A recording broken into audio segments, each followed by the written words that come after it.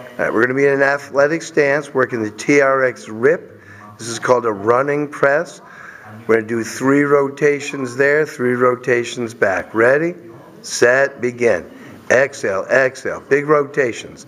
One, two, three. One, two, three. Big rotations. That's it. A little faster, a little heavier. Good. Good. One, two, three. One, two, three. One, two, three. Big rotations. Work those hips. Swing on around. Good. One, two, three. One, two, three. And stop.